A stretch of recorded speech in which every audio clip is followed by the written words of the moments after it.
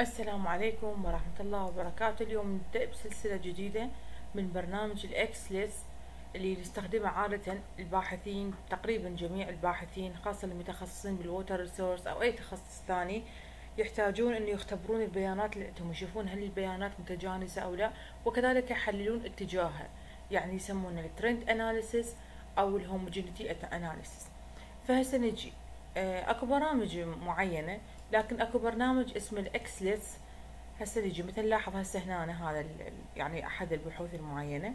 عنده حط عنده فد عدة من المحطات المناخية ويريد يفحصهن يفحص تجانسهن بالنسبة مع يعني الخط ال confidence اللي هو ثابت.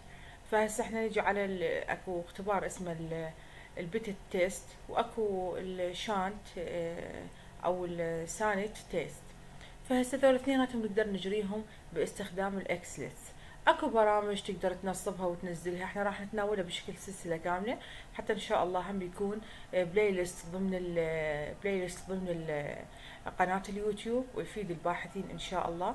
فهسه هذا اجراه باستخدام برنامج ال XLSTAT تقدر تنزله واحدة وتنصبه لكن الاكسل الحديث المايكروسوفت الحديث اللي 2018 فما فوق 2018 2019 2021 22 أنا النسخة اللي منصبتها حاليا للمايكروسوفت كلها 21 فراح اشوفكم إياها.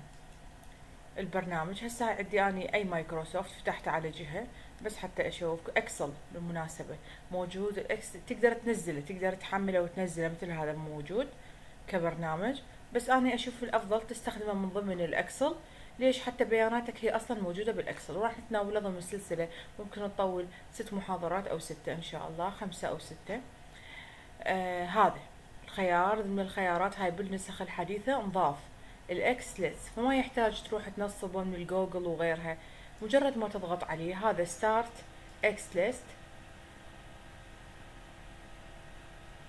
هذا ال XL STAT فمجرد ما نضغطه راح ينطيك خيارين. أما تستخدم ال free هذا start your free trial هذا لمدة 14 يوم premium trial تمام عيني؟ أو أو تفعل ال license الخاص بك إذا كانت النسخة اللي أنت منصبها عن المايكروسوفت نسخة مو crack آه فتقدر تستخدم أي طريقة. المهم أنت يعني تفعل بها الخيارات البرنامج. إذا تلاحظ أنت حاليا إن البرنامج ما مفعل.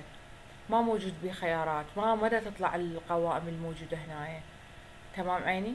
ف يعني هذا البرنامج إن شاء الله راح نتناوله بسلسلة كاملة وقلنا الغرض من عنده يستخدمونه بالبحوث الحديثة لفحص أما ال homogeneity test أو ال quality control إحنا نسميه فحص التجانسية. أو وكذلك مو أو وكذلك نستخدمه لفحص الاتجاهية لأي بيانات ايا كانت البيانات. تمام؟ إن شاء الله. هسه هاي المحاضرة الأولى تعريفية مجرد عن البرنامج حتى نتناوله ونتكلم به.